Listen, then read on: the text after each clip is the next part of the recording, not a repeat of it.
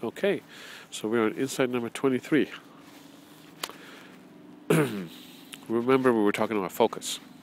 So, through focus, the mind can literally find a whole world in a grain of sand, in one grain, and be mesmerized by it indefinitely. Similarly, through lack of focus, the mind could, in the midst of an entire varied universe, be oblivious to that universe and all that it contains. So you pick a grain of sand, tiny little grain of sand, you know, with a telescope, or not a telescope, what is it? A microscope. With a microscope, you can go quite close into that sand and look at it so closely that it sees it seems to be the size of a planet, one grain of sand. With an electron microscope and other very similar microscopes, one can go quite deep into the um, sand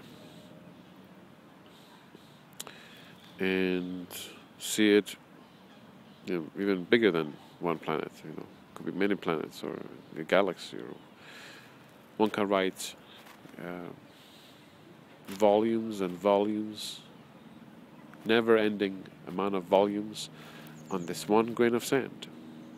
Scientific research about all kinds of stuff on the sand, on one grain of sand.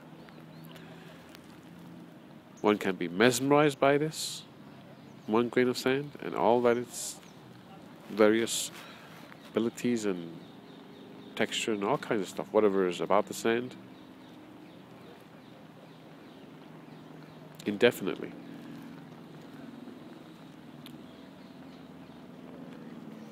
Also, now this is done through focus. Also, through lack of focus, the mind could, in the midst of an entire varied universe, here you are, an entire varied universe.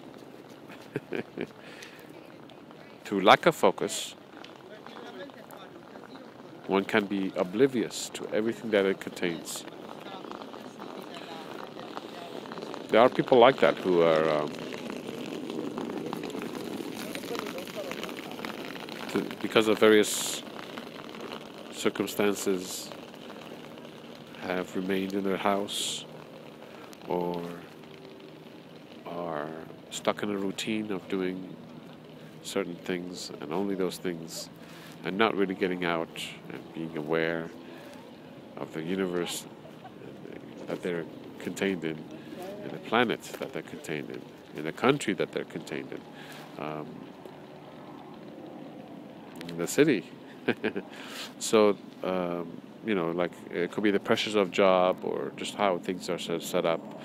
Um, some people just have difficulty getting outside uh, of their uh, routine of going to work, go to sleep, eat, watch a movie, go to your favorite place, restaurant, or whatever. So yeah, so in this case, it, it would not be the lack of focus. It would just be the focus is on those particular things, the, the routine. So the mind is kept busy with those routines. Uh, an idea, uh, a sports, um, a clothing, or whatever can um, be, you can be uh, disinterested by it. And so therefore it does not hold your focus.